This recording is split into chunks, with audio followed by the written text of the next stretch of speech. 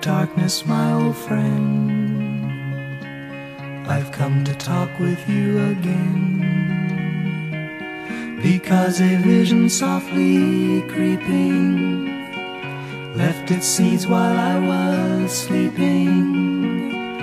And the vision that was planted in my brain still remains within the sound of silence. In restless dreams I walked alone,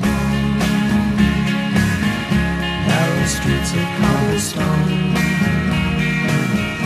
neath the halo of a street lamp. I turned my collar to the cold and damp. When my eyes were stabbed by the flash of a neon light, split the night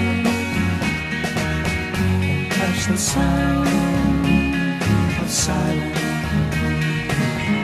And in the naked light I saw ten thousand people, maybe more. People talking without speaking People hearing without listening People writing songs That voices